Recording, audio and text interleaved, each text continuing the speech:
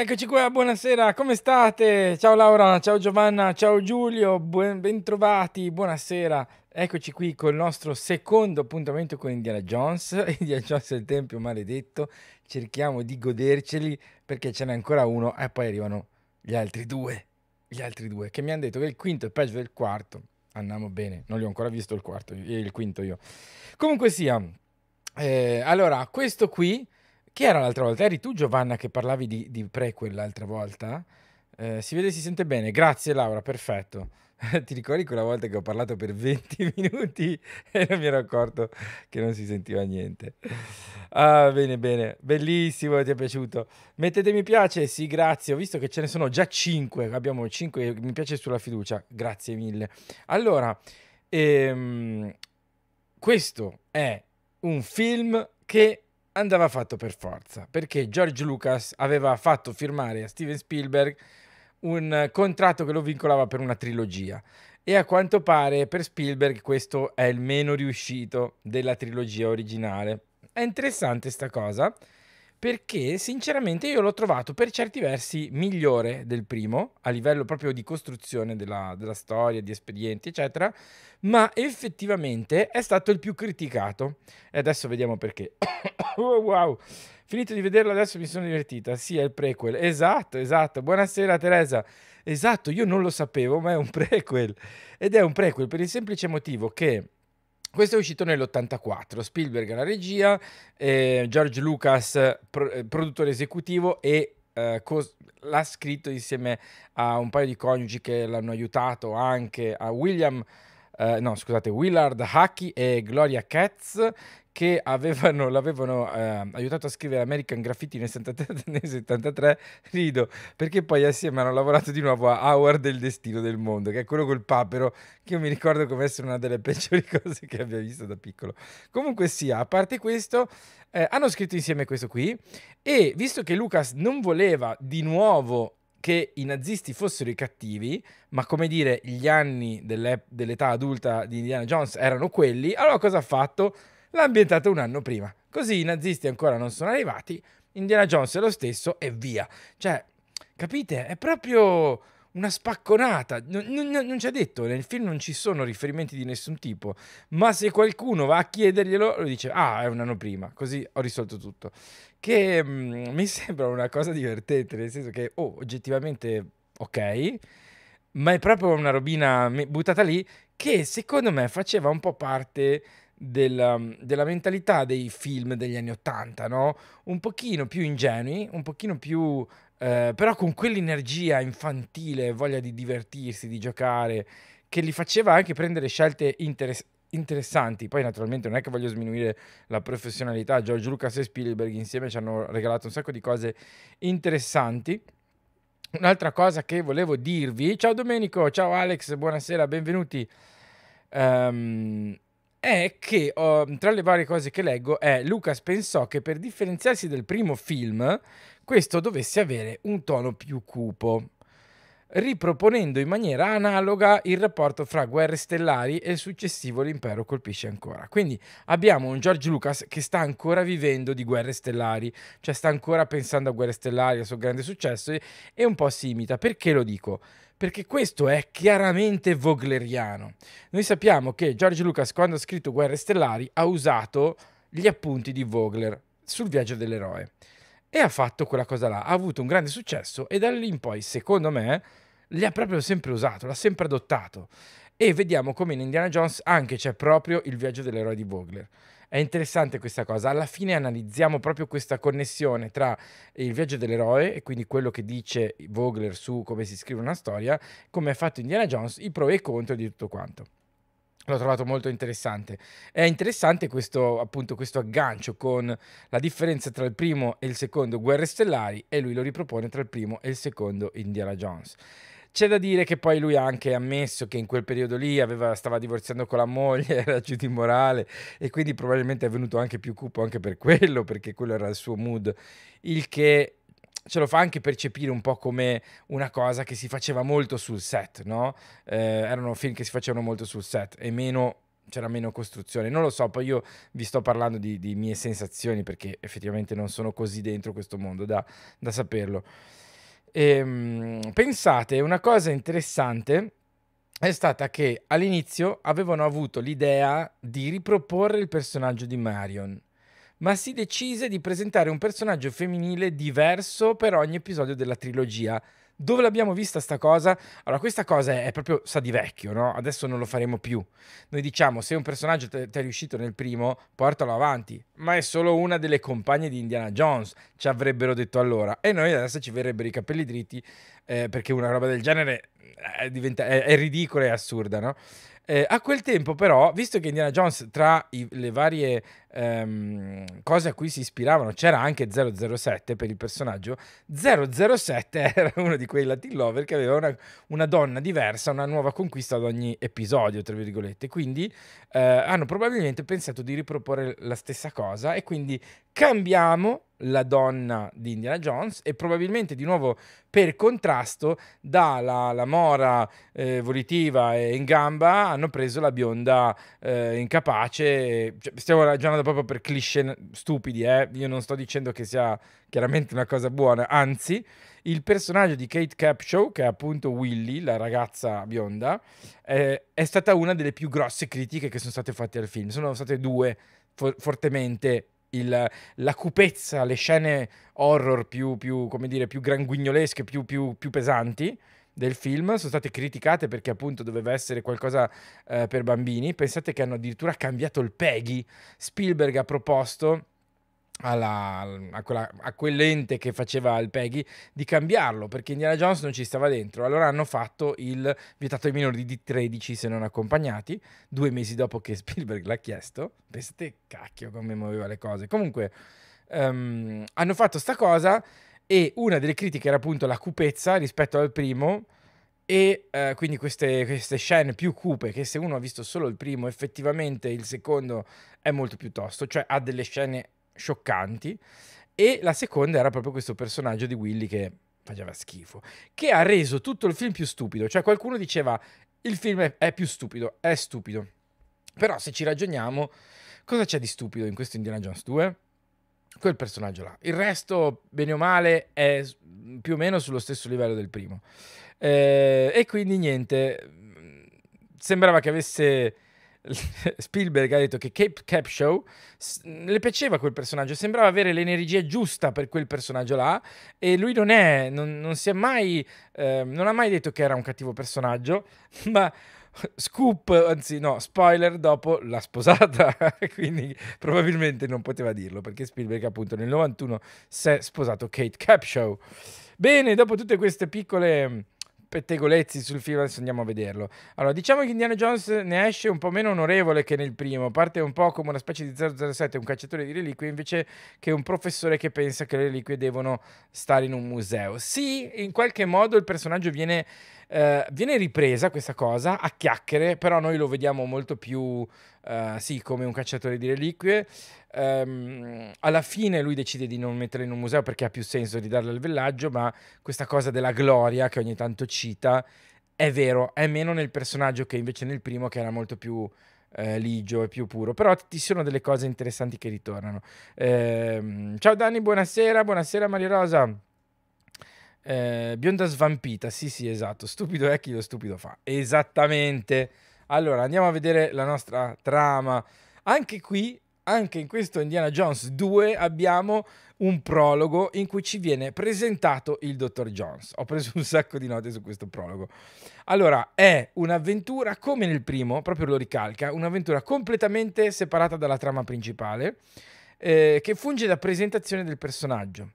Eh, abbiamo addirittura una sequenza di 14 minuti. Voi considerate che se noi prendiamo il paradigma hollywoodiano e decidiamo di dividerlo in quarti, il primo quarto è tutto del primo atto, dello status quo, e di questo ne togliamo 14 minuti per fare un prologo propriamente detto, quindi una sequenza di scene che tutto sommato non c'entrano con la trama principale. Perché se noi partiamo dall'aereo eh, o addirittura dal villaggio, comunque sia, in qualche modo stavolta c'entra un pochino di più. Nel senso che nel primo era completamente staccato, vedevamo Belloc e basta. E invece in questo abbiamo che ci vengono presentati anche Willy e Shorty e in più c'è una sorta di collegamento con quello che succede dopo, anche se è un, un collegamento puramente estetico, puramente di trama esterna, diciamo, anche se potremmo dire che quasi tutto trama esterna, ma poi approfondiamo meglio. Come nel primo la missione fallisce, cioè la, la missione del prologo, eh, ma da qui nasce il caso che poi lo porta alla missione principale, no? Che questa è una, è una differenza del prologo rispetto al primo. Eh, qui manca l'antagonista quello che ritroveremo come antagonista principale, se vogliamo chiamare così Belloc nel primo, ma in cambio abbiamo, in compenso abbiamo un collegamento diretto tra questo prologo e lo sviluppo dell'avventura principale. Piccolezze, eh, niente di complicato. Anche qui però abbiamo, vediamo eh, Indiana Jones che fallisce la missione con cui eh, si origina la storia. Questa cosa è molto interessante. Eh, non so perché, cioè se ci penso non trovo una motivazione per questa cosa. Perché Indiana Jones fallisce? Una delle, delle possibili risposte potrebbe essere perché dobbiamo vedere un personaggio nello status quo che non ha la vita che vorrebbe, che non è perfetto. Grazie. E quindi non riesce ad avere successo. Sì, ma questo dovrebbe essere, ehm, come dire, collegabile al suo fatal flow, alla sua debolezza psicologica, a qualcosa che deve imparare. Invece qua è proprio, come dire, il caso, no? Eh, a noi sembra che abbia successo perché effettivamente riesce a salvarsi e a partire, però oggettivamente non ha recuperato né il diamante né l'aggeggino che ha dato a, ai tizi, insomma è un po' strano. Ehm, abbiamo eh, un Jones concentrato sull'azione, che non ha tempo per, da, da perdere con la morte dei suoi gregari eh, quella scena con eh, il suo amico che dice eh, noi abbiamo vissuto insieme mille avventure ma la terra del mistero andrà da solo e lui eh, lo guarda un po', lo lascia andare giù e poi ha da fare insomma no? Questa è una, roba, è una roba un po' strana. È un po' quello che dicevamo anche del primo, della leggerezza delle morti. No? La morte è solo una cosa narrativa, non, non c'entra niente con, con quella reale, non, non, non, ci facciamo neanche caso, non, l'associamo nemmeno. Questa è una roba, secondo me, è una differenza di sensibilità rispetto a oggi, probabilmente. Ehm, viene introdotta la controparte romantica e comica col personaggio di Willy, quindi Willy effettivamente fa sia da controparte romantica, come abbiamo detto le donne di, di, di James Bond, e um, anche dei siparietti comici, quindi probabilmente hanno cercato di allontanarsi dal personaggio di Marion. Non, non, non hanno fatto un'ottima, un'ottima, scelta. Io me la ricordo come da sempre, da quando ero bambino, la cosa più fastidiosa, la più, cosa più fastidiosa del film e meno riuscita in assoluto. Uh, vabbè, ditemi cosa ne pensate voi. E poi l'insolita spalla Shorty, che invece è un personaggio fighissimo, perché è un bambino e ha questa storia alle spalle strampalata che lo lega a, a, Indiana Jones e ha questo rapporto di amicizia ma anche quasi di genitore figlio adottivo no? ehm, con Indiana Jones che effettivamente funziona è molto tenero è molto carino è strano è strano che non ci fosse nel primo e che non viene nominato nel seguito.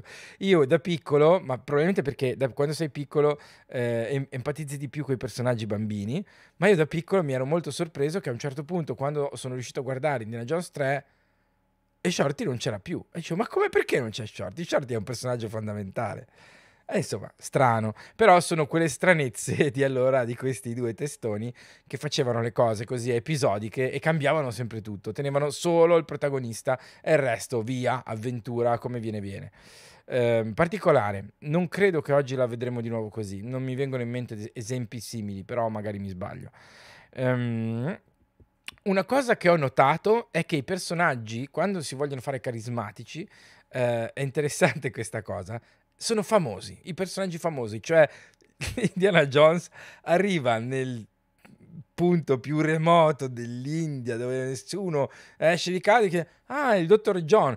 Eh, il dottor Jones trova uno che ha vent'anni più di lui, no, magari dieci, magari di zoologia dice ho studiato di lei a Oxford, ma come cavolo fa? Ma capito? C'è questa cosa che è famosa a tutti i costi, come Poirot con Agatha Christie, per Agatha Christie e cose così, no? E questa aura di, di, notorietà è intrigante, ci fa dire, ah, questo deve essere davvero figo perché lo conoscono tutti. È la, è la, la cosa della riprova sociale, come mi diceva Roberto tempo fa, eh, che mi diceva che alcune cose del marketing si ritrovano anche nella narratologia e quindi la riprova sociale che nel marketing, come dire, diventa una leva perché le testimonianze di tutti quelli contenti convincono anche me a comprare perché dico, beh, se loro dicono che va bene, allora significa che hanno ragione. Allo stesso modo, altri personaggi che dicono, ma quello lì è un figo, ci coinvolgono. È interessante questa cosa.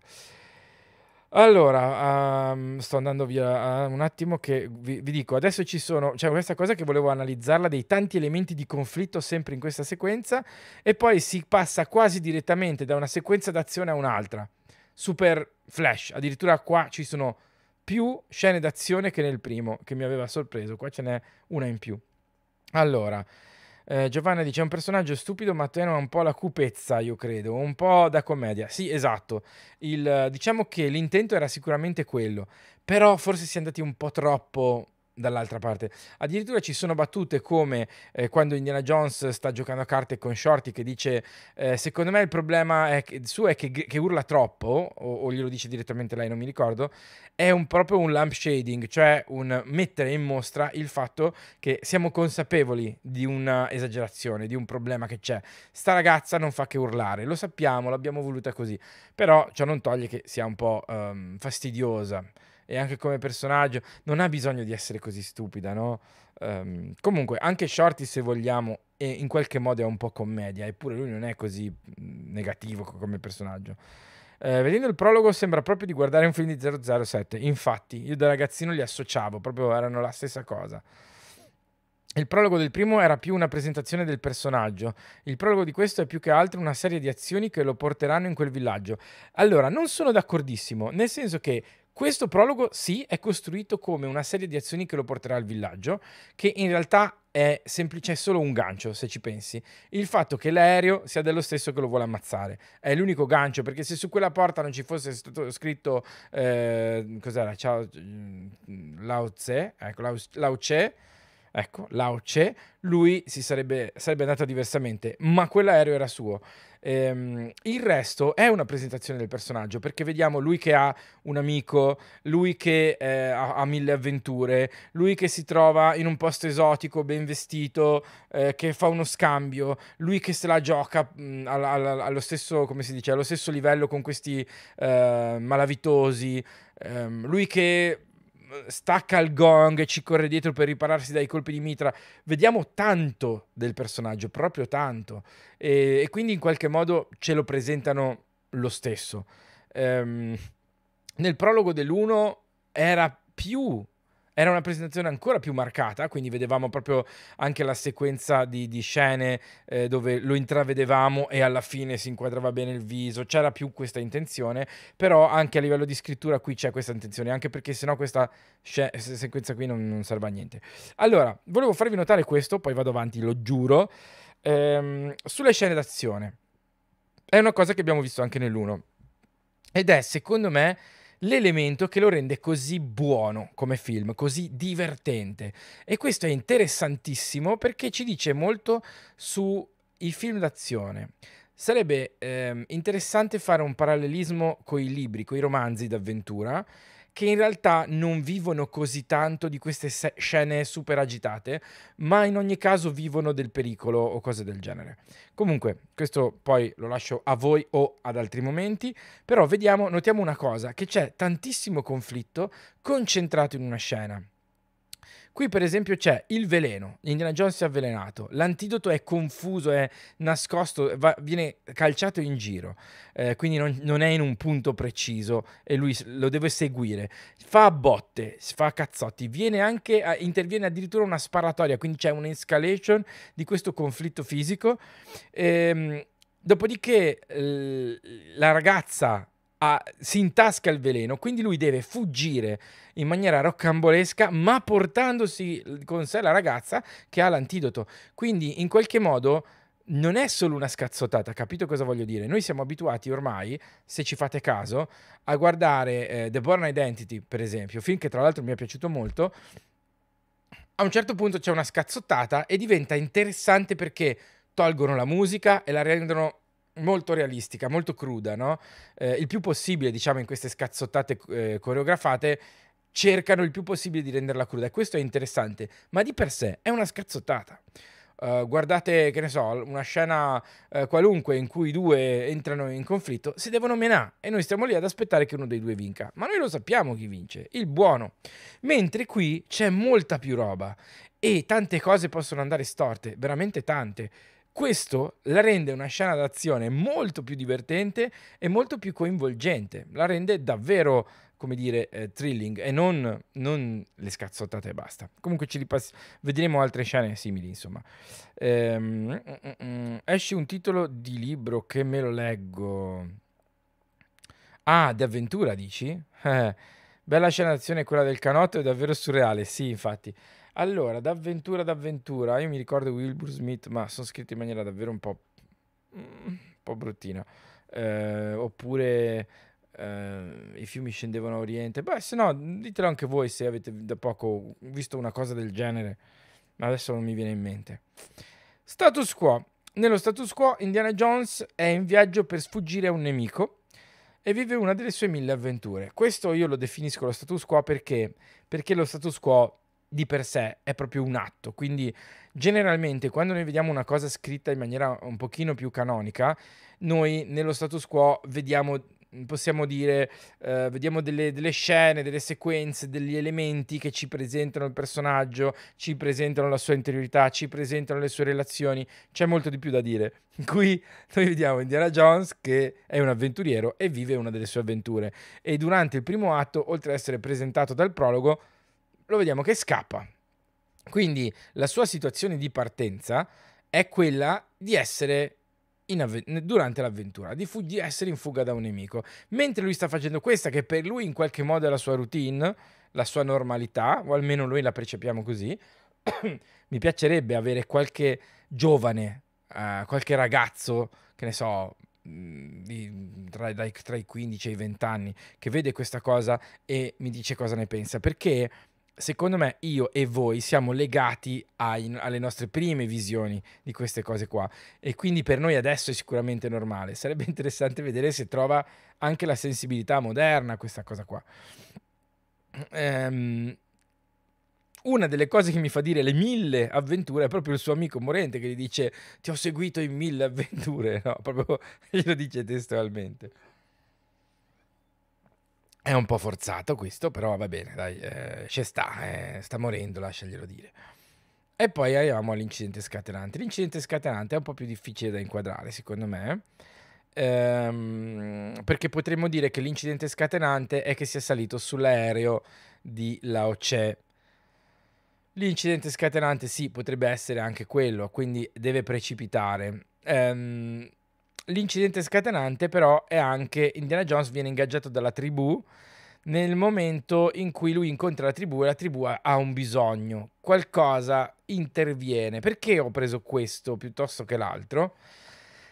Perché qui um, abbiamo proprio quella cosa del, um, di, di, Vogler, del mondo, cioè più, più di Campbell, del mondo straordinario che come un messaggero interviene nel mondo eh, ordinario del protagonista. Quindi in qualche modo la parte del canotto precedente fa ancora parte, secondo me, di quella sequenza prologo iniziale che ci porterà nel mondo dove avviene l'avventura. Quindi in realtà sono entrambi un po' incidenti scatenanti per una cosa o per l'altra, no? E, però lui, io ho sentito questo perché lui qui potrebbe ancora rifiutarsi, potrebbe ancora dire eh, no, eh, io scusate, vi siete sbagliati, cioè i fatti miei. Lui qui ancora non avverte una posta in gioco forte. Ah, il quinto giorno. Allora, il quinto giorno mm, prova con Wells, giusto? Io credevo che non c'era lo status quo. Ah, beh. Mm. Status quo è un po' la situazione iniziale. E, ehm, diciamo che se c'è, c'è, sempre lo status quo, perché se l'avventura comincia da un certo punto, vuol dire che quello prima era lo status quo. Però concordo col fatto che questo sia uno status quo un po' sui generis, appunto perché se può sintetizzare così, no? Indiana Jones viene ingaggiato, cioè, eh, scusa, eh, Indiana Jones vive una delle sue tante avventure. E mentre lo sta facendo succede qualcosa. Questo è un po' lo status quo. Mentre stai vivendo questa routine, accade qualcosa che ti fa cambiare rotta. E certo, Luca, hai detto che ti piacerebbe fare il confronto, pensavo avessi già mente qualcosa. Forse Dan Brown? Eh, forse Dan Brown. Eh, sai che sarebbe interessante fare un confronto tra tipo il codice da Vinci, libro e film? Non lo so, però so che poi non, non vi piace, però potremmo pensarci. Non è così divertente. Allora, eh, forse potrei provare con Gamboa. Mm, mm, non lo conosco. Vecchio ma buono, Angeli e Demoni. Allora, vecchio ma buono, insomma, lui lei odia Dan Brown. Ma se l'hai proposto tu, lo leggi per la conoscenza. Il meno peggio? Ah, interessante. Allora, ecco, qui ehm, gli dicono andrete a Pencott e quindi in qualche modo c'è questo incidente. E arriviamo al primo punto di svolta, che è quel momento in cui c'è una posta in gioco e l'eroe non si può più tirare indietro. Indiana Jones ha la prova dei bambini rapiti e decide di intervenire. Questo è il momento in cui il bambino messaggero porta un pezzo del mondo straordinario, Shankara, no? E lui viene a sapere um, diverse cose. Lui adesso ha un quadro esatto, sa dove andare, ha un piano, una linea chiara di fronte e ha, io ho segnato dignità perché non so bene come chiamarla, come posta in gioco. Eh, è un momento in cui si dicono guarda che ci sono dei rab- bambini rapiti e stanno tutti lì e tu dici se non faccio niente non, non, riesco proprio a guardarmi più nello specchio, no? Eh, non puoi esimerti dal, dall'aiutare questo villaggio che chiede aiuto e in più ce n'è una, una seconda, diciamo, quindi questa potrebbe essere interna, se ci fosse bisogno, ma non è vero, non è interna. Sì, è più interna nel senso che tocca il cuore del protagonista, ma non ha nulla a che fare con un arco di trasformazione, con uno sviluppo interno del personaggio. Lui qui invece ha un'altra posta in gioco che è l'occasione di ottenere le pietre perdute di Shankara, perché quando lui scopre eh, tutte queste cose dice ah cacchio, una pietra perduta di Shankara è un tesoro gozzissimo e io lo posso trovare eh, fortuna e gloria, fortuna mi pare, no? Quindi sta un po' dicendo quella cosa del io cerco i reperti, quelli importanti. Però è vero, come diceva Laura prima, che non abbiamo Indiana Jones che dice questa roba deve essere un, per l'umanità, deve finire in un museo. Quando dice gloria, sembra quasi che parli per se stesso, proprio come un cacciatore di tesori. È un po' buttata là. Ehm, quindi lui ha un quadro esatto e sa dove andare e abbiamo l'inizio della salita. Eh, tutto questo pezzo qua ci interessa meno. Noi siamo là che aspettiamo l'avventura, no? che ci prudono le mani. Ne abbiamo già avuto una bella dose e adesso siamo interessati a vedere il mondo esotico dove Indiana Jones si tufferà per vivere una nu- nuova incredibile avventura. Chissà cosa vedremo, no? È un po' questa la sensazione, l'emozione che abbiamo quando andiamo verso Pencott e comincia la salita esploriamo proprio il mondo esotico, no? E il piano è quello di scoprire cosa succede a Pencott. Molto, fa- molto easy, molto, neutra- molto neutrale, volevo dire, molto basilare. Ehm, c'è poco, poca roba, è proprio d'avventura in stile vecchio, vecchio stampo, no? Eh, Salgari proprio. Lui vanno sugli elefanti, camminano, hanno delle guide, quindi non c'è nessun conflitto, devono proprio raggiungere il punto A andare verso il punto B e intanto si guardano intorno, eh, c'è mm, eh, la scena del falò dove chiacchierano, sono nella giungla, è molto mh, mm, tranquilla come, come, sequenza. La cosa che ha di bello è proprio il, entrare nel mondo straordinario, se vogliamo. E di nuovo, qui c'è proprio solo Vogler, no? Allora, fatemi vedere cosa dite voi. Allora, il quinto giorno non è un romanzo d'avventura, ma di guerra. Ma io leggo tutto, dovresti saperlo ormai, sì. Allora, le storie eh, delle pietre l'ho già sentita da qualche parte, eh, delle pietrone. Aspetta, adesso che dici la pietrona non starai mica ri- di nuovo citando la Marion Zimmer Bradley, vero? Era un altro tipo di pietrone. Ciao Rick, buonasera. Da questa settimana sono eh, ufficialmente un emigrante. E dove vai? Oddio, forse Kassler. Ah beh sì, forse, boh, sì. Ora che mi sono sistemato posso eh, tornare a disturbarvi in pianta stabile. Bravo Rick, sono contento. Sono molto contento. Allora, le pietrone, va bene, scusate, mi viene in mente la Zimmer Bradley con la pietrona magica, sì. Quando leggevo la Mary Zimmer Bradley, sì che aveva la pietrona mistica. Con questa pietra avrei potuto salvare tutti, va bene.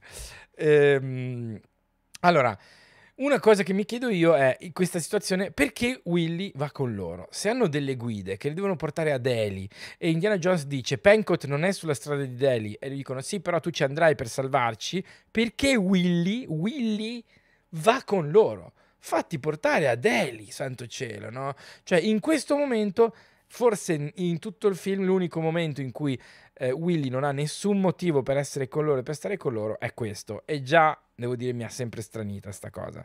Ehm, abbiamo la scena del falò, che è proprio la scena del falò, no? Tipica da, da cose d'avventura, dove ci sono le chiacchiere e le gag. Eh, eh, ottiene, è una scena un po' blandina, appunto fatta di gag e di, di chiacchiere un pochino veramente, c'è il background di shorty, ottiene un pochino più di valore quando Indiana Jones spiega le motivazioni del viaggio. In qualche modo arricchisce la scena perché ci fa capire meglio qual è la posta in gioco, cosa dobbiamo aspettarci, costruisce meglio la, uh, la, le, le, premesse per quello che ci aspetta. E, um, è interessante notare come questa scena qui abbia una sequenza, una costruzione narrativa completa, no? Che parte da ehm, Indy che si sente a proprio agio e Willy che urla impaurita alla fine dove Willy si è stufata ed è consa- cioè, consapevole no ma eh, come dire ha preso una decisione forte contro la natura avversa e Indy invece è spaventato quindi abbiamo un'inversione che rende il tutto in qualche modo quasi uno sketch no?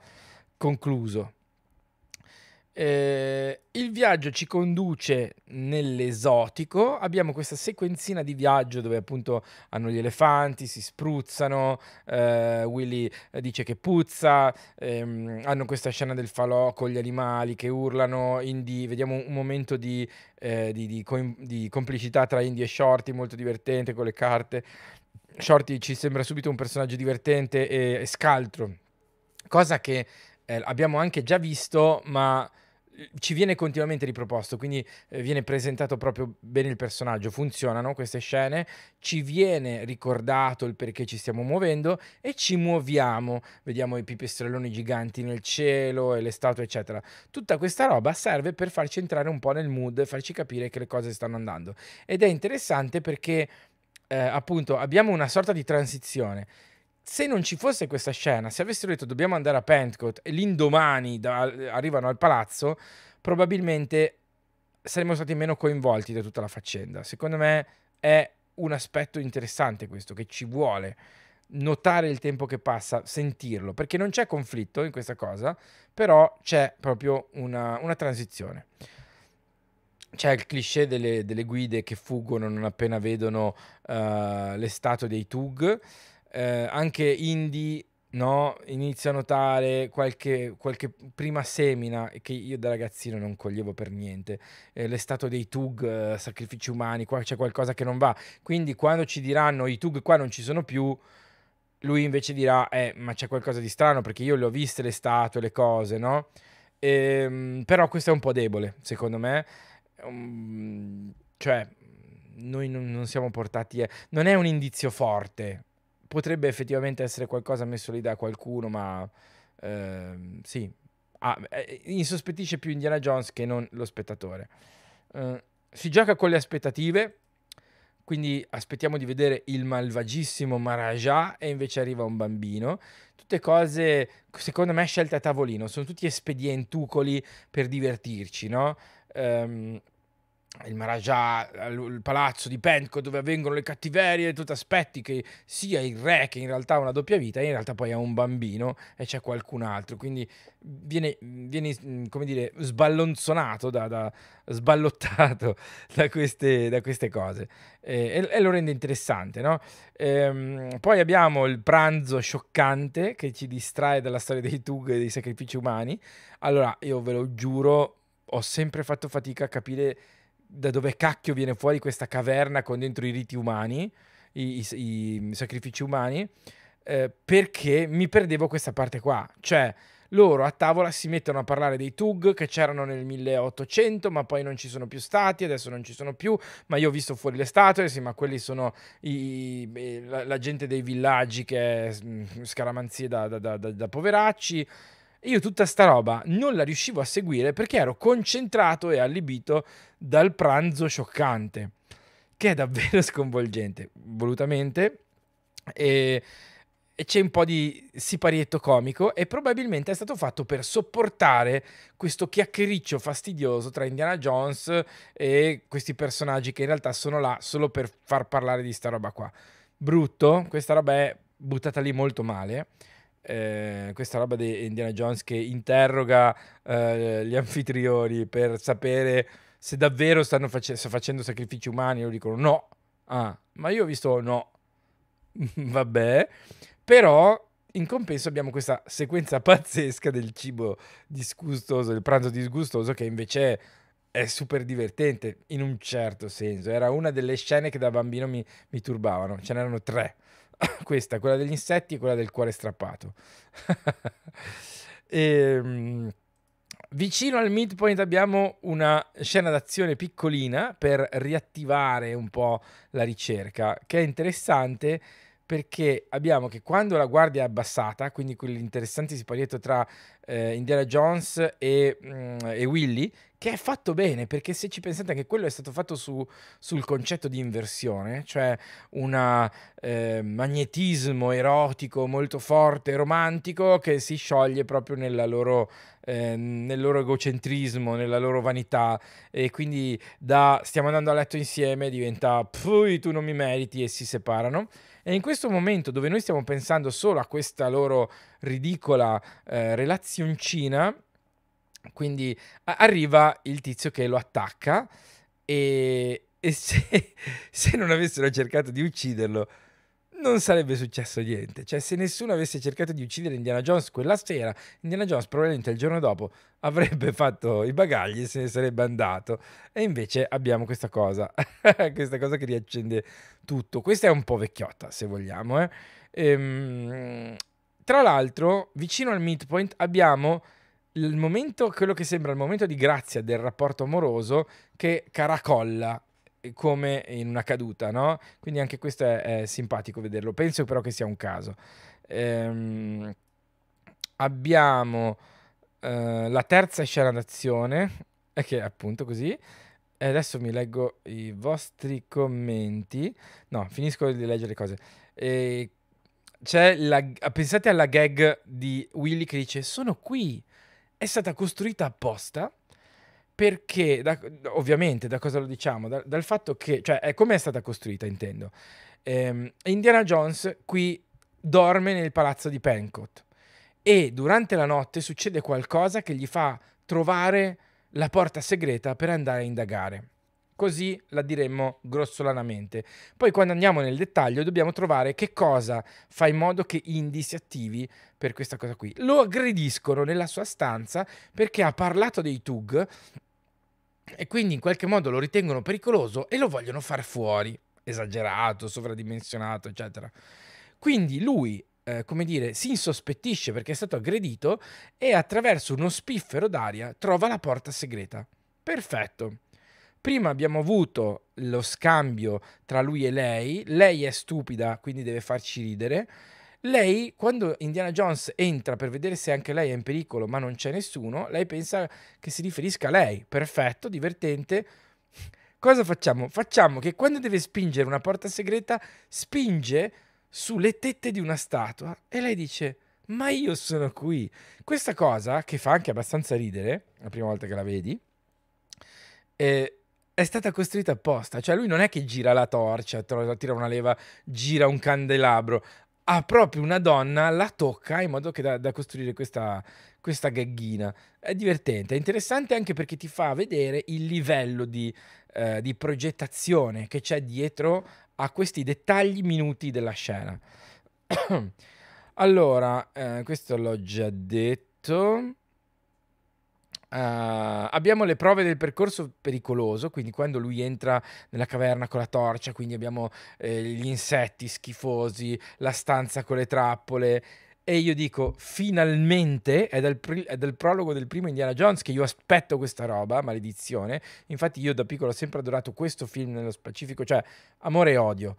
Io ero davvero turbato da queste tre scene ma contemporaneamente era il mio preferito perché c'era il tempio maledetto e quindi c'erano le caverne, le trappole, queste cose qua che mi piacevano un sacco. E, e finalmente abbiamo la quarta scena d'azione con tutta questa cosa qua. Anche qui um, Willy non andrebbe giù, ma loro la devono chiamare perché sono rimasti intrappolati. Quindi anche qui abbiamo che Willy fa bene andare giù, era solo la parte prima che Winnie non aveva motivo di andare con loro. Anche qui ci sono le mummiette da parco di divertimenti che abbiamo visto nell'1, eh, quindi il, la, la, porta che si sgretola escono fuori due mummiette da, da per, percorso horror di, del Luna Park. E poi è una cosa, secondo me, interessante, e poi leggo i vostri commenti, è l'ansia della leva. Noi abbiamo un momento di grande tensione quando eh, Shorty per sbaglio chiude le porte, per sbaglio fa scendere gli spunzoni, loro due stanno per essere uccisi e schiacciati e possono, co- eh, come dire, eh, confidare unicamente eh, nel, nell'aiuto di Willy, che è un incapace, ed è spaventata. E Indiana Jones dice, devi tirare la leva che c'è in quel buco là. E la leva è una cosa facile, concettualmente tu metti la mano e la tiri. Ma è piena di insetti, ci fa schifissimo. Ed è questa la cosa che fa suspense. Non è il fatto che loro rischiano di essere schiacciati, ma è il fatto che Willy debba mettere quella mano tra gli insetti e debba farlo in fretta, altrimenti ne subirà le conseguenze. Questo degli insetti genera più suspense degli spuntoni, perché eh, ci troviamo di fronte al dilemma mm, mecchiano da Robert McKee, il momento in cui il protagonista, o comunque il protagonista della scena, in questo caso è Willy che lo fa, il personaggio dimostra quello che vale attraverso una scelta che sia difficile. Un dilemma vero e proprio, cioè faccio morire i miei amici o metto la mano in quello schifo orribile.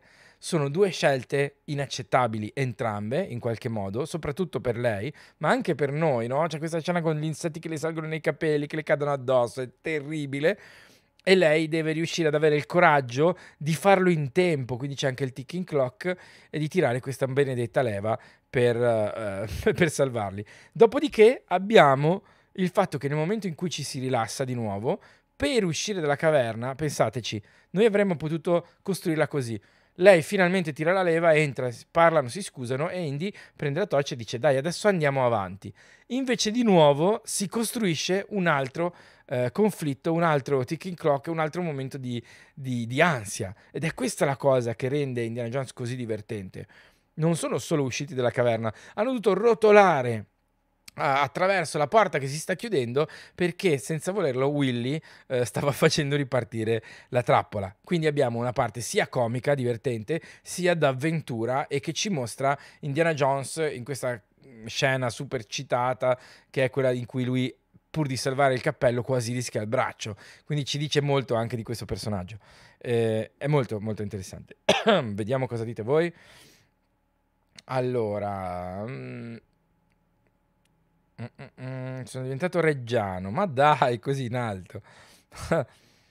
Speravo in un paese tropicale, venivamo tutti a, a, a trovarti in un ritiro nesleriano. Eh sì, sì. Ehm. Ah, ok, Rick sta leggendo il libro di Laura. Benissimo, benissimo. Ehm, Congo. Ah, è vero, Congo c'è il film e c'è anche il libro. Congo mi sa che l'avevo anche letto. Però da ragazzino. Congo. Sì, sì, è quello con gli scimmioni. Era figo, cioè almeno da ragazzina era figo. Ehm, ok, potrebbe andare allora. Uh, uh. Per il ritiro nesleriano vi aspetto in Senegal. Eh, mamma mia. Ne avremmo di, di, di belle sorprese e di bei viaggi. Allora, di trappole ce ne sono più nel terzo. Eh, adesso però nel terzo ci arriviamo. Sai che mi viene in mente ora? Che ricorda molto anche i Goonies come avventura. Sì, eh, è sotterranea, ci sono i, tra- i tracobbetti. I Goonies, se non sbaglio, è successivo e stiamo parlando sempre di Spielberg. E se non sbaglio...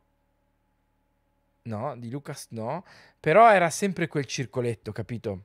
È un po'... Eh, c'era dentro Mamma ho perso l'aereo, i Goonies, i Gremlins, Howard, il destino dell'universo. Tutti quei film lì li facevano sempre lo stesso gruppetto di, di persone, ehm, attingendo più o meno alle stesse idee, agli stessi soggetti, alle stesse chiacchiere. Erano proprio dei nerdini che si divertivano.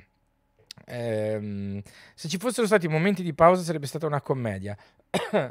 eh, sì, bisogna, esatto, bisogna tenere alta l'azione, però è un, cioè, è un buon mix. L'azione con la commedia si combina bene, soprattutto in questo tipo di film qua, no? Eh, non è una commedia troppo stupida, dove... Cioè, il personaggio di Willy già è troppo stupido. Se ci fossero personaggi ancora più stupidi che fanno... Oh, come siamo abituati poi, siamo stati abituati poi a vederlo spesso, ehm, demoliscono un po' la, l'ironia. Però qua il fatto che lei, piegandosi, faccia partire una trappola come dire, non ha bisogno di ulteriore stupidità, già la rende, già le dà il tono da commedia.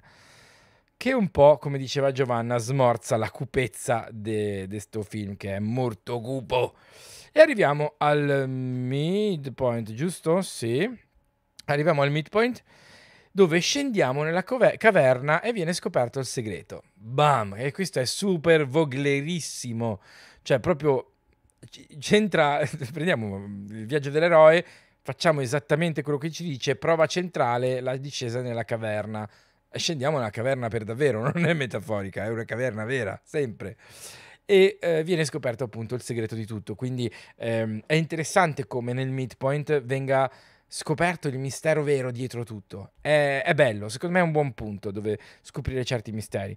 Abbiamo anche un momento di grazia molto simile a quello del primo, cioè Indiana Jones ottiene la reliquia che sta cercando, quindi lui riesce a mettersi in saccoccia le pietre. E anche questo è molto da manuale, ma funziona. Ed è anche simpatico perché noi vediamo che, come dire, lui tergiversa e le urla lo riattirano. E questo è migliore del primo. Allora, ehm, la setta dei Tug è ancora attiva, si manifesta all'antagonista in modo scioccante, questa cosa del cavare il cuore che ancora continua a pompare, quindi c'è anche questo aspetto della magia, delle divinità che intervengono come nel primo. Se nel primo noi questa cosa l'avevamo vista solo alla fine, in questo la vediamo già a metà. Eh, si palesa, si manifesta già a metà, il fatto che ci sia qualcosa di magico. Ehm, però restiamo esattamente nello stesso tipo di world building, di, di atmosfere. L'antagonista si manifesta qui, che è un'altra cosa da midpoint, e, ehm, e, quindi, come dire, è tutto ben costruito per quello che deve fare. La forza di questo film sta nella costruzione delle scene, quindi tutta questa sequenza in cui lui cava fuori il, il cuore dal petto, eh, richiudono la gabbia, fanno il sacrificio nella lava e il cuore prende fuoco mentre il tizio urla. A parte che è terribile, no? a riraccontarla mi rendo conto è, è veramente tostissima. Avevano ragione, che chi la criticava per il periodo che non se lo aspettava lo capisco. E, ehm, però tutte queste scene sono costruite con grande cura dei dettagli e secondo me è la forza intera di questo film. Ma poi vediamo nel, meglio cosa intendo dire. Abbiamo un aumento della posta in gioco, nel senso che nel momento in cui lui riesce a prendere le pietre, le urla dei, degli schiavi innocenti richiedono un'indagine ulteriore a Indiana Jones che doveva lasciar stare, lui doveva uscire mentre si vince. E invece qui abbiamo proprio questo momento di grazia che non funziona perché lui aveva sottovalutato le implicazioni personali che derivano dall'avere questi bambini, se vogliamo, no? Ma è quasi, è quasi casuale questa attinenza al fatal flow, diciamo, perché è veramente microscopica. Dopo vediamo verso la fine qualcosina c'è, ma appunto è così microscopica che secondo me è proprio fortuna quasi o comunque gli è dato molto poco, mo- poco peso. E quindi lui eh, sente questi che urlano e deve indagare anche su quelli. Quindi è come se subentrasse un nuovo obiettivo più mh, maggiore, no? Lui era andato là per vedere cosa succedeva, trova le pietre, ma trova anche delle persone che hanno bisogno di aiuto e non può andarsene via. Perché eh, una cosa che mi sono chiesto è perché i Tug lasciano lì le pietre nel, nei tre buchi del teschio e se ne vadano. Così, le lasciano là a brillare e vanno via. Per, perché non hanno, so, un posto dove tenerle, una, una cassaforte, una, una... Boh, le lasciano là. È la cosa più importante che hanno. Va bene? Questo è un po' forzato mi è sembrato troppo facile, no? Troppo facile per Indiana Jones che si avvicina per prendere le pietre e poi quindi ha una nuova distrazione. Questo secondo me a livello di scrittura è un po' ingenuo, però di nuovo, visto che eh, il, il, mm, l'accento di questo tipo di storia non è sulla logicità, sulla verosimiglianza e sull'interiorità, ma sulla costruzione, la coreografia delle scene d'azione e l'epicità del personaggio protagonista, allora questa roba qua diventa meno importante, ha meno peso di quello che avrebbe in altri tipi di storie. Allora, come nell'uno abbiamo l'eroe che ottiene il suo obiettivo, come dicevo, quindi eh, ester- l'obiettivo esterno lo, viene, lo, lo, riceve nel midpoint, però questo è meglio dell'uno perché qui l'eroe fa suo un nuovo e più importante obiettivo con una posta in gioco più interessante e più interna, quindi non è più che lui vuole la ricchezza, ma non può non intervenire quando trova un'ingiustizia così feroce. Quindi lui è a causa del suo bisogno di essere buono e delle sue azioni che la storia prosegue e non a causa del fatto che si è, sta- si è fatto beccare dai nazisti. Quella roba là era molto meno interessante, molto meno incisiva, secondo me. Ehm... Il target per cui è stato scritto, dici che bisogna considerare. Sì, ecco, in realtà, ehm, ni, perché secondo me non era stato scritto con un target così preciso, o meglio, sì, sicuramente volevano fare un film per ragazzi e per famiglie, eh, che, andassero, che la gente andasse a vedere al cinema con i figli e si divertissero, perfetto, ma abbiamo chiaramente delle virate che sono uscite dal seminato. Infatti molti l'hanno criticato per questo. Quindi quello che voglio dire è che mh, sì, avevano magari un target in mente, ma non sono stati attentissimi a quello che facevano probabilmente sia perché George Lucas e Spielberg erano già dei nomi molto grossi, facevano un po' quello che volevano e non, non si sono curati di sta cosa. Oggigiorno succede con sti registi super acclamati che fanno sti polpettoni da tre ore, che santo cielo, ma porca miseria. O appunto Rebel Moon. Uh, che tra l'altro uscirà la parte seconda quando? Tra dieci giorni? Va bene, attendiamo. Um, ok, il midpoint l'abbiamo visto. Allora, diciamo che eh, pensavano che Indiana Jones fosse stato ucciso e quindi di essere al sicuro. Secondo me quelli, eh, quello che non funziona e lo rende strano è che le pietre non erano già lì, ma ce le mettono dopo. Ecco, allora, le portano per il rito, le mettono là, vanno via e le lasciano là. Sta roba non ha senso. Cioè, se noi facciamo una cosa simile, non ci comportiamo in quel modo là, quindi ci chiediamo perché l'hanno fatto e non trovando facilmente una spiegazione seminata prima, perché in questo caso sarebbe dovuta essere seminata prima, e allora avremmo detto giusto, è coerente, quindi non ci deve essere una spiegazione posteriore, ma ci deve essere una semina precedente, in modo che noi quando vediamo questa cosa già sappiamo che andrà così e perché eh, ci sembra forzata e lo è, perché in realtà non c'è solo Indiana Jones come possibile minaccia. Eh, abbiamo visto che ci sono tanti ospiti e lì è pieno di gente. In ogni caso, visto che tu le pietre le porti là, mi aspetto che tu le tenga da qualche parte, no? Quindi in generale è un po' forzato. È possibile anche che la mettono alla fine perché fa parte di un rituale, però è poco credibile. Sì, è, che è poco credibile che stia lì come che faccia parte del rituale, lasciarle lì abbandonate. Mm, no avrebbe dovuto mettere, che ne so, delle guardie e lui le, le fa fuori. Però vabbè, stupidaggini che mi vengono in mente adesso. Allora, andiamo avanti. Caduta. Abbiamo la caduta che eh, è, è, interessante. È una caduta che prende un, un buon pezzo di, ehm, di, di, di, climax al suo interno. Allora, Indy scopre la miniera con i bambini schiavizzati. I nostri eroi vengono catturati, Indy viene a sapere il piano dei cattivi e viene drogato col sangue di Kali. Notate che in genere l'eroe catturato viene, eh, avviene all'esperienza di morte, qua lui viene catturato molto prima, quindi la fuga fa parte del piano secondario della caduta. È interessante, mi piace questa cosa, è molto più, rende la cattura più interessante, più avvincente, perché all'esperienza di morte lo sappiamo che tanto lo liberano, anche qui, ma qui ci interessa di più il come, mentre nell'esperienza di morte sappiamo che lo libereranno e lui andrà a combattere il cattivo, mentre qui lui potrebbe avere un altro obiettivo. Eh, allora, Indy viene a sapere il piano dei cattivi, viene drogato col sangue di Kali, Willy sta per essere sacrificata, ma Shorty interviene, scena d'azione numero 5, poi c'è la liberazione dei bambini, scena d'azione numero 6 e la fuga nel carrello da miniera, scena d'azione numero 7.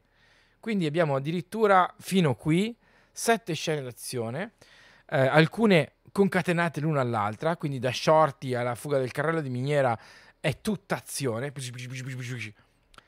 non dico eccessiva perché a me ha divertito, però è tanta e quindi, um, come dire, ci sono pochi film che, ne, che, presentano così tanta azione, quando lo fanno di solito ci sembrano delle spacconate. Eh, allora, Indiana Jones si fa scoprire per la sua agency e la sua etica, no? Lui non sopporta l'ingiustizia e quindi non, non resiste a tirare una sassata a questo tizio e quindi viene, viene catturato. è una cosa molto buona perché da una parte vediamo che lui non ha scelta, deve per forza intervenire perché sennò noi l'avremmo sicuramente criticato e, e questo però porta delle conseguenze nefaste per lui ed è un'ottima cosa. È, è vittima della sua bontà in qualche modo e avviene in questo momento qua. E questo è meglio dell'uno, ripetevo, no? Ehm, vediamo anche che prima che loro debbano bere il sangue di Kali, scopriamo che cosa fa il sangue di, di Kali, come, come, funziona. Glielo raccontano i bambini, vediamo l'effetto. E um, questa cosa funziona così, L- l'ho sottolineata perché io spessissimo vedo fare il contrario, cioè eh, vedo che prima uno fa una cosa e poi viene spiegato perché funziona così. E come ho appena detto col discorso della semina, non va, questa roba non funziona. Ehm, deve, deve succedere il contrario, prima me la spieghi e poi la vedo. La bambola voodoo, c'è una bambola voodoo in India. Questa è una roba veramente figlia degli anni Ottanta, no? Mm, boh, cosa gli facciamo fare? Facciamo che tira fuori da un sacchetto una bambola voodoo di Indiana Jones con il cappellino e la giacchetta di pelle stranissimo. Eh, e però funziona bene, cioè noi vediamo eh, Indy che soffre, viene usata addirittura due volte, potremmo considerarla quasi una semina, quella della tortura con la bambola voodoo, per la scena dopo del pestaggio con il, il colosso del 2. Eh, Willy diventa, viene sacrificata tutta intera perché è una donna, questa è anche una roba strana. Un'altra roba strana è che Shorty sia l'unico bambino che usa il piccone per liberarsi dalle catene tutti gli altri sono là a fare quello che gli dicono. Boh, mi è sembrato troppo, cioè Shorty si rivela essere il più in gamba di tutti i bambini, ci sta, lo capisco, ma per una cosa così semplice è un po', un po troppo. E poi appunto il fatto che Willy non le cavi il cuore, cioè, abbiamo proprio questa scena che è stata seminata, quindi noi vediamo che quando lui fa così e così sappiamo che sta per cavarle il cuore, oh mio Dio, oh mio Dio, invece chiude solo la gabbia perché lei va giù tutta intera. E l'unica spiegazione che ci facciamo è perché lei è una donna. È l'unica differenza che c'è. Perché se no? Boh. O forse perché quello era un rituale, mentre questo è solo un sacrificio così, in più. Quindi va giù intera. Non lo so. E o, o, forse perché mh, mm, qual è la necessità di cavare il cuore? Insomma, iniziamo a farci un po' di domande proprio per questa forzatura qui. Se noi avessimo tolto la scena del cuore, questa roba avrebbe funzionato uguale. Però avremmo avuto un pochino meno di truculenza. Non lo so, ci sarebbe da pensarci. Abbiamo um, appunto, mentre si picchiano, bisogna salvare Willy. È molto interessante perché di nuovo abbiamo questa scena d'azione in cui ci sono ticking clock e cose da fare tutte insieme. Willy sta scendendo verso la lava e loro si pestano. Quindi Indiana Jones deve liberarsi del suo nemico per riuscire ad arrivare a salvare eh, la ragazza. Questo è interessantissimo. Di nuovo, non è che Indy si è trovato di fronte all'ostacolo e deve abbatterlo, lui deve abbatterlo con un ticking clock. mentre succedono altre cose, no? mentre ci sono difficoltà aggiunte e mentre c'è una scadenza molto vicina che sta arrivando. Se ci pensate, c'è quasi sempre sta roba. L'unico momento forse in cui non c'è è il carrello da miniera, dove però c'è la velocità e quindi è, diventa come un inseguimento in auto, no? eh, o con veicolo, diciamo, eh, che deve essere un cliché che c'è in tutte le cose d'azione, eh, dove praticamente la velocità in qualche modo aggiunge rischio, aggiunge pericolo. Poi ci sono anche i tizi che gli sparano, quindi c'è, c'è più roba. No, no, è proprio un inseguimento. E, ehm, dovete trovarmi un film d'azione senza l'inseguimento in auto. Non esiste. Sono sicuro che non esista. Ci sarà una lobby degli inseguimenti che... Beh, sto scherzando. Comunque veramente non ne ho trovati. Mai. Ehm, e se no, in genere c'è sempre questa cosa qua, tranne quando lui, per esempio, picchia il tizio che cerca di assalirlo in camera. Lì lui veramente deve solo picchiare il tizio e salvarsi, e lì fa solo quello. Ma altrimenti ci sono sempre più cose coinvolte e lo rende davvero interessante e rende queste scene molto divertenti, molto più coinvolgenti.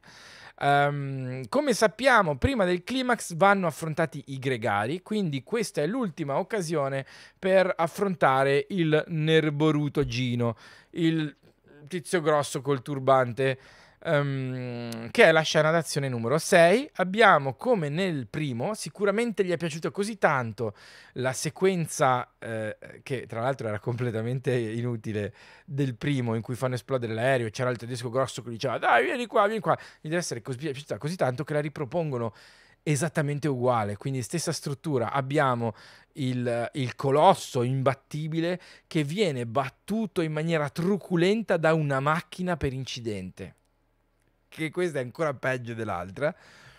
Ehm, e anche qui abbiamo le botte, il feticcio voodoo, il nastro trasportatore col rullo schiacciasassi e la lotta di shorty che deve fare in tempo per levare la, la, il coltello dalla schiena della bambola voodoo. Quindi anche qua abbiamo tanta roba e abbiamo riproposta la scena del colosso. Eh, un'altra cosa che mi è sembrata strana è che solo il fuoco risvegli dal sonno maledetto di Kali perché i cazzotti no e il fuoco sì? Perché le ferite no ma il fuoco sì? E, ehm, e questa cosa, se vogliamo, è un po' la ricchezza degli anni Ottanta. Cioè, adesso noi faremmo, ci darebbe fastidio, diremmo, ma vabbè, ma è una stupidaggine, c'è questo difetto, c'è quell'altro difetto, no? È un po' come, adesso eh, parliamo sempre della Cortellesi, la dico così, non faccio grossi spoiler, ma c'è un'esplosione, è quella, tutti quanti fanno... Mm, e in effetti stonano. Queste cose un pochino che aiutano troppo la trama, no? Se è troppo facilone, allora se ne fregavano, andiamo avanti, no? Però ripeto, probabilmente è anche un po' come dice Alex, fa parte del target, non si fa tutti questi problemi e poi anche il genere non ha tutte queste difficoltà, è come se io facessi una commedia dark, una commedia horror con gli zombie che, che ne so, un po' splatter, no? Che, che ne so Ehm, fanno ridere per le cose che fanno, nessuno va a pensare eh, ma non è verosimile, vabbè ma è quello il genere, quindi in qualche modo questo si, si perdona. E poi abbiamo che nella caduta si fugge, nella salita si va verso l'obiettivo, nella caduta si scappa, si fugge, si cerca di mettersi in salvo e quindi funziona anche questo. Allora, vediamo dove mi sono perso. Mm, mm, mm. Allora, um... Forse perché pensano che nessuno ruberebbe le pietrone a una mandria di assassini. Sì, tra l'altro hanno un udito pazzesco, gli fanno gli spaventi, va bene. Eh, credo faccia parte del rituale, anche se in altri film le pietre e i talismani erano già posizionati. Sì, se fossero stati là, in qualche modo ce lo saremmo giustificati, ma le portano proprio, no? Ho sempre trovato Indy una sorta di padre spirituale eh, della maledizione della prima luna. Ah, perché? In che senso? Cosa, cosa ci trovi di, di simile, Rick? Allora, non funziona il fatto che le pietre o sono sempre posizionate o vanno sempre conservate. Eh sì. È strano che prima eh, erano nascoste e poi se le scordano, esattamente, no? È quello che, che, tutti abbiamo pensato. Il sangue di Kali è come la pozione dei Bokor. Eh, non, le, non, non conosco. Uh, scena d'azione numero 7, troppo lunga per me. È molto lunga, in effetti. Quella del carrello, aspetta, quella del carrello da miniera, intendi? Tra l'altro, pensa che questo l'hanno fatto sotto perché in qualche modo avevano già, ho letto, poi non, me lo spiego, davvero non me lo spiego. Mi piacerebbe avere un esperto, sapete quei nerd che sanno tutto. Ehm, avevano già delle, delle, delle riprese di questo inseguimento del carrello e allora oltre che altre cose, e allora hanno costruito questa avventura qua eh, del, del, tempio maledetto sotterraneo. Gli anni 80 erano mitici, eh, sicuramente sì, sicuramente hanno fatto molto. Ehm, tra l'altro il, il, cinema di oggi nasce da lì, cioè eh, lo stiamo ancora, è proprio il genitore, il papà anni 80 del nostro cinema è questo. Ehm, cosa che volevo dire? Questo era appunto il film che hanno dovuto fare. Dobbiamo farlo, dobbiamo cambiare, facciamo così così. L'hanno proprio costruito a tavolino, no? In maniera divertente, come dire, mettiamoci giù, inventiamoci qualcosa, ma ne parliamo meglio tra un attimo. Abbiamo un'esperienza di morte? No, non c'è un'esperienza di morte in fondo alla caduta. Il fondo l'abbiamo toccato col sangue di Cali. In qualche modo quello ha fatto da esperienza di morte. È interessante perché a livello funzionale c'è un'esperienza di morte. Indy è stato catturato anche a livello di coscienza dai cattivi, è diventato cattivo e sta sacrificando la sua bella e il suo amichetto Shorty, che è ancora peggio per noi, no? Eh, e quello è proprio l'esperienza di morte. Arriva l'alleato a tirarlo fuori dai guai, a salvarlo. E non in maniera interna come ci piacerebbe, diciamo, in altre, in altre situazioni, però sicuramente est- scusate, esternamente e con intenzioni positive di farlo rinsavire, um, Shorty lo scotta e lui rinsavisce. Lasciamo in questo modo uno spazio più lungo per un climax lungo e avventuroso.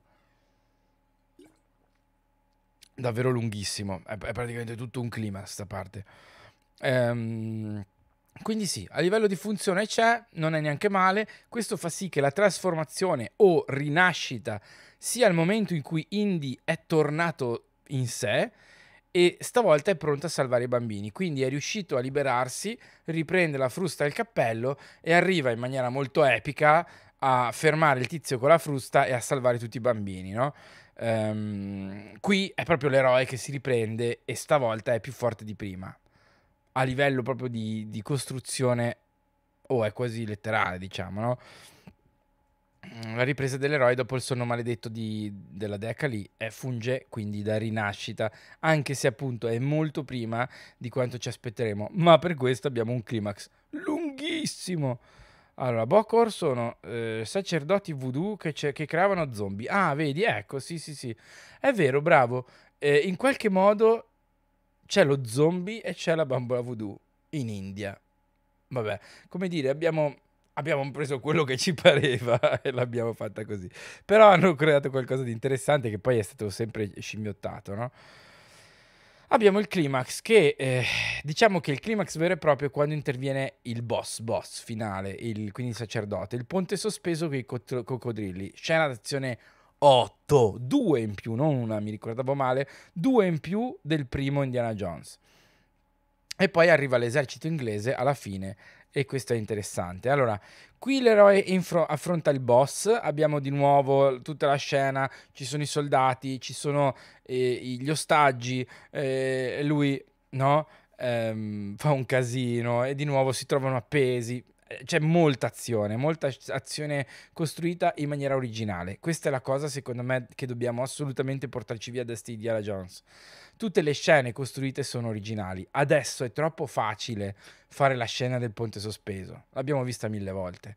È troppo facile fare, eh, che ne so, la scena del carrello da miniera, no? Io non lo so se era stata fatta prima, ma tutti i carrelli da miniera da qui in poi si riferiscono a questo bisogna trovare delle, delle sequenze, delle motivazioni, dei, delle catene di causa-effetto proprio coreografate da scena d'azione che siano originali, interessanti divertenti. Qua era tutto costruito così, come due che vogliono divertirsi e trovare la roba più bizzarra. Invece oggi spesso prendiamo ispirazione, no? E come dicevamo di Rebel Moon, molto derivativa come scena.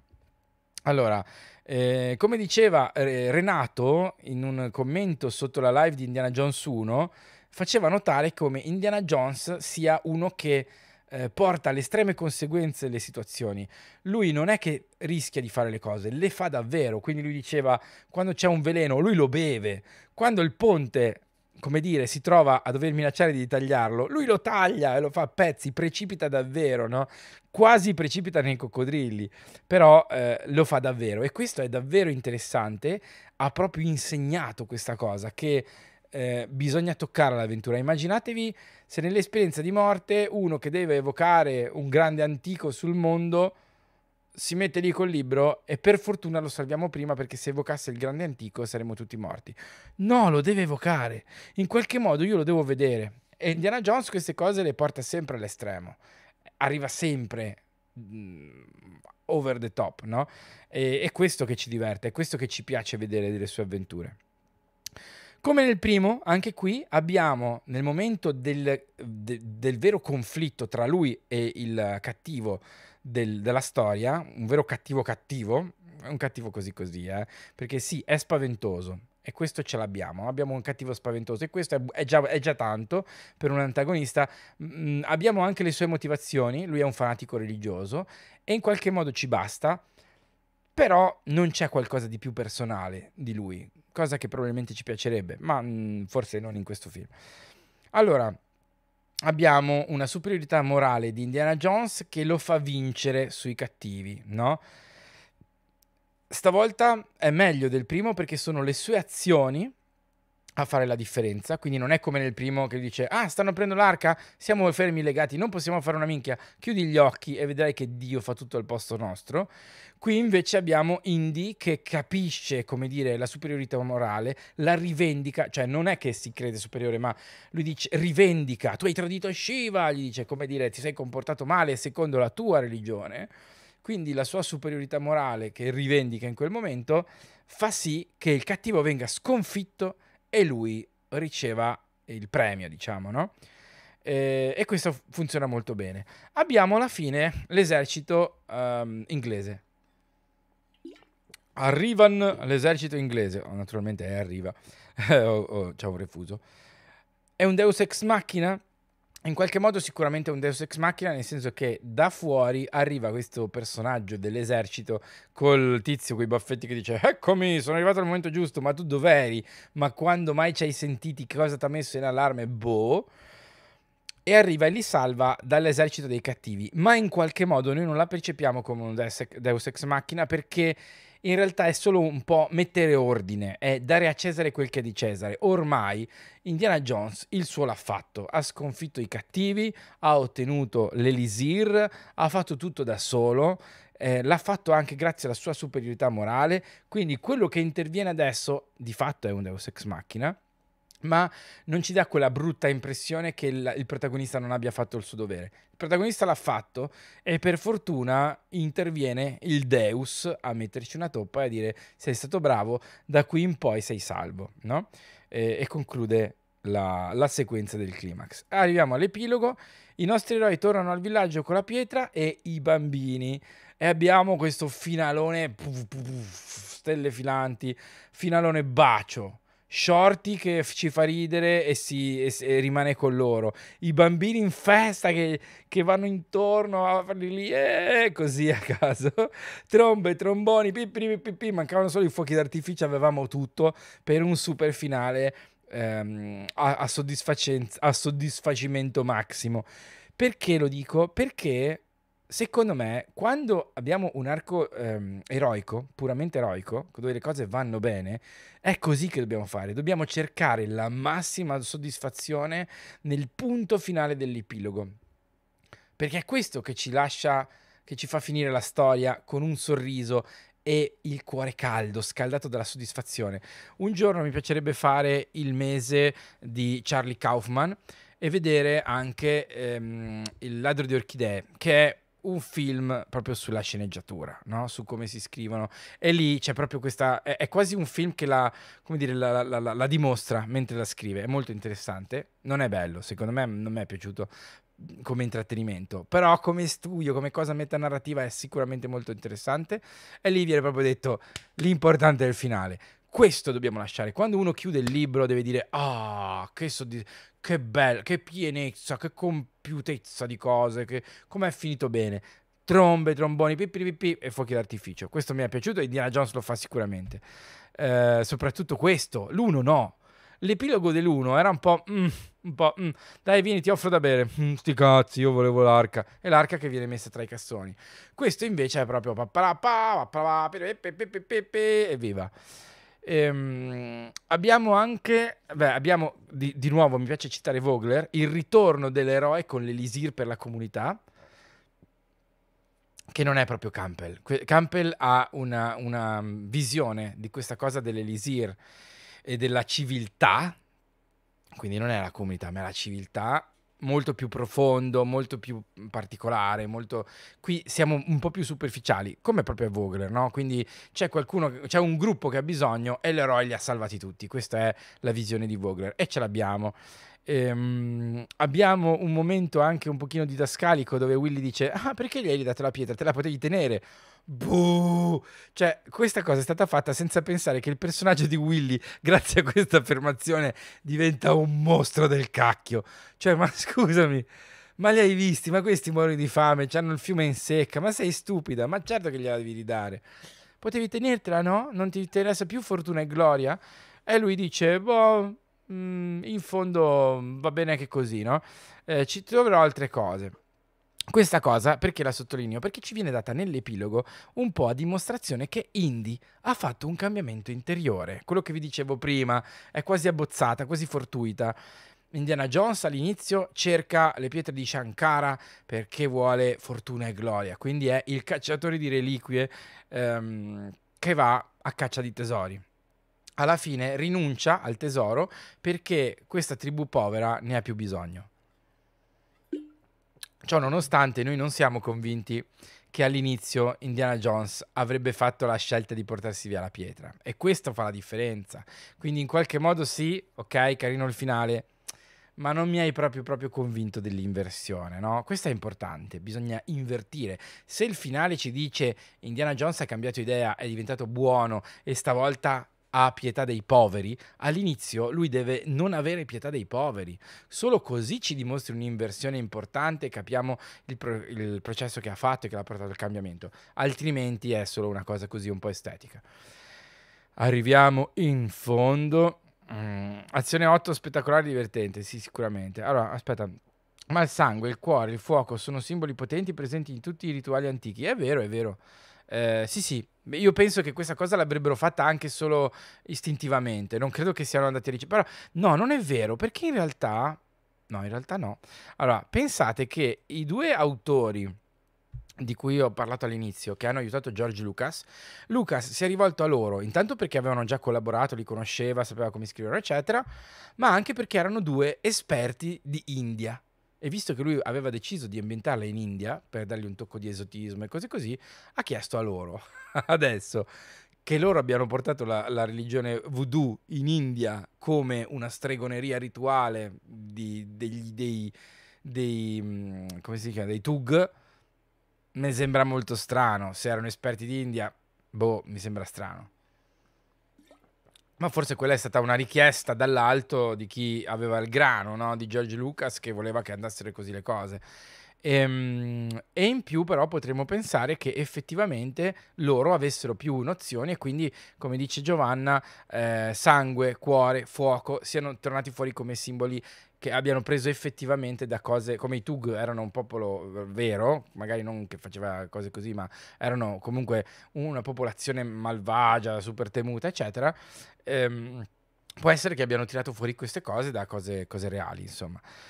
A Indy non è mai interessata a Fortuna e Gloria, no, infatti, l'Indy che conosciamo noi dall'1 non è così, non è il cacciatore di reliquie, come diceva Laura all'inizio. È strana sta roba. E tra l'altro quindi non, non, sarebbe stato credibile nemmeno se ce l'avessero mostrato così in maniera marcata. Io dico solo che se vuoi fare una storia che ha questa inversione la devi invertire davvero, non devi farla così all'acqua di rose. Poi non avrebbe funzionato qui. Se ci avessero fatto vedere Indira Jones che diceva dobbiamo trovare la pietra di Shankara scappare questo villaggio muoia perché quella a me interessa, non sarebbe stato credibile ci avrebbe fatto schifo da subito. Eh, e non sarebbe stato il nostro Indiana Jones, bisognerebbe fare qualcosa di diverso. Allora, arrivavo a qua per dire eh, qualcosa sulla trama e su Vogler appunto. Allora, però leggo la Laura che ha appena scritto. Secondo me anche il fatto che questo film sia uscito per secondo rende poco credibile il cambiamento, perché nel primo era già uno che cercava la gloria. Eh sì, sì, sì. O meglio, la caratterizzazione del prologo sembra finta. Eh sì, sì, hai ragione. Eh, è quello che dicevo adesso anch'io, no? Essendo il secondo, non è quello che abbiamo conosciuto nel primo. Avevano già settato delle caratteristiche. la trama è in cinque punti. Indy incappa in un villaggio bisognoso. Togliamo il prologo che si può benissimo fare a meno di quello. Quello è proprio un'aggiunta. Indy incappa in un villaggio bisognoso, raggiunge un palazzo in mezzo alla giungla. Faccio una piccola parentesi, mentre parlo penso. Perché è sicuramente un'aggiunta? Lo so che l'avete capito, ma ribadiamolo. Se invece che cercare il, l'aggeggino del, del, del, dell'imperatore, Lao Tse, antidoto e veleno, avesse fatto qualcosa di diverso, che ne so, fosse scappato dalla Yakuza perché aveva eh, sottratto una spada antica, era la stessa cosa, identico, uguale. Quindi eh, Indy incappa in un villaggio bisognoso, raggiunge un palazzo in mezzo alla giungla, sotto il palazzo scopre una setta, viene catturato ma riesce a liberarsi, affronta la setta e la sconfigge. Se ve la dico così, e se vi dico voglio scrivere questa storia, cosa mi direste voi? Mi direste sì, ok, è una storia d'avventura, ma non è che ci sia un particolare guizzo, cioè eh, lui vuoi, per aiutare un villaggio va in mezzo alla giungla e trova un palazzo in cui ci sono dei cattivi, dei cattivi, cioè proprio la setta dei cattivi, è un po' Lovecraftiana come cosa, è un po'... ci sono gli, gli adepti di un culto uh, di, di, riti umani, c'è anche Broken Sword 2, così, cioè sono... davvero non ti viene in mente niente? li catturano, ma si liberano e li sconfiggono. Grazie. Detta così, è una trama da niente, cioè proprio una trama inventata nel giro di, di boh, bere un caffè, ok? Si beve un caffè insieme e si tira giù questa trama qua. Come mai allora ci piace così tanto? Quindi basta Vogler per costruire un'avventura così, per prendere questo, se noi la trasportiamo sul modello del viaggio dell'eroe, diventa per forza una cosa interessante? Allora, se la fai così come è stata fatta Indiana Jones, sì, basta anche Vogler, perché è piena di espedienti narrativi, è piena di, eh, di, avventura ben costruita, diventa super intrattenente e noi alla fine proviamo una sorta di affezione per Indiana Jones, per questo personaggio che ci ha così divertito e che si è barcamenato in tutte queste situazioni assurde, ma non ci ha insegnato niente. Non è una trama che ci colpisce per l'elaborata, mm, che so, messaggio o per eh, quanto il personaggio diventa eroico nel cambiare se stesso. No, anzi, è molto più forte il rischio di fare una cacata pazzesca che non un buon film con il viaggio dell'eroe applicato poi a una trama così semplice. Sapete che io ho fatto anche un video in cui dico il viaggio dell'eroe non basta, non basta, è troppo superficiale. Ehm, comunque, la cosa secondo me che rende Indiana Jones 2 così buono, come anche l'1, che l'1 non è così buono, secondo me il 2 è meglio, a livello proprio di costruzione, di narrazione, l'ho trovato più convincente, vedremo il 3. Secondo me è l'attenzione alla scena, essere così concentrati sulla buona riuscita di tutte le scene, quindi direi l'attenzione al dettaglio e non è la prima volta che vediamo che questa cosa essere davvero un uh, come dire, un, un grande vantaggio per una storia. Quindi mi verrebbe da dire, stiamo attenti, visto che la materia è super complicata, è super complessa, quindi è difficilissimo eh, costruire e strutturare una, una, storia con l'arco di trasformazione fatto bene, profondo, coerente, magari anche con più archi, molto complesso, molto difficile. Ricordiamoci che però non è che una volta che siamo riusciti a farlo possiamo andare via dritti, dobbiamo comunque curare scena per scena, tutti i dettagli, dobbiamo essere originali nei dettagli, è fondamentale sta cosa. La sto affrontando da tu, dappertutto, anche nel laboratorio di, di scrittura che sto facendo con nove partecipanti vediamo sempre questa cosa dell'originalità del narratore. Il narratore deve parlare in maniera originale, deve, vuol dire studiata, vuol dire pensata, vuol dire non riutilizzata, no? E la stessa cosa la fa Indiana Jones e con questo dettaglio delle scene. Eh, detto questo, io ragazzi... Allora, la prossima volta abbiamo Indiana Jones 3 e l'ultima crociata, godiamocelo perché mi, che, mi sa che sarà l'ultimo bello. Eh, potrebbe anche essere il più bello di tutti. In tanti dicono che sia il migliore. Non me lo ricordo neanche. Mi ricordo la sequenza finale. Mm, vediamocelo, godiamocelo e ci ritroviamo per parlarne. Vi annuncio in anteprima mondiale che ho deciso che il 15 maggio uscirà ufficialmente il mio romanzo Catene d'argento in um, ebook, cartaceo, cartaceo rigido, faccio tutto quello che posso fare. E, um, ci, e lì ho costruito il romanzo con diversi uh, archi, diversi, 10 archi di trasformazione, tutti quanti incastrati in un'unica trama, quindi ne parleremo, eccetera, eccetera. Così vi farò vedere, come dire, messa in pratica un po' questa cosa e messa in pratica in un testo scritto, in un romanzo nato per essere un romanzo, appunto. Ehm, ho idea che probabilmente faremo delle analisi, vedremo come, vedremo come. Comunque, intanto ve l'ho detto. Eh, io vi ringrazio tantissimo di essere stati con me. Ci vediamo la prossima volta. Leggo gli ultimi, ehm, gli ultimi vostri Mm, commenti? No, no, ok. Allora, eh, mentre l'arrivo dell'esercito inglese lo trovo inutile e un po' disturbante. L'esercito civilizzato è l'occupazione che mette ordine. Sì, hai ragione. Oggi è disturbante, hai perfettamente ragione. Probabilmente anche allora, per qualcuno che conosceva meglio la situazione, eh, c'è questo colonialismo buono. è vero. Eh, oggi non si potrebbe più fare. Se noi facessimo un remake di Indiana Jones 2, questa cosa non la metteremmo, credo. Faremo eh, eventualmente un esercito mm, autoctono sicuramente, qualcuno di autoctono. Uh, grazie Laura, ha insegnato che bisogna aiutare i più deboli, eh, finalmente. Notte a tutti, grazie a voi, io uh, vuoi prenotare in ebook, perfetto, per evitare che finisca. Ragazzi, al prossimo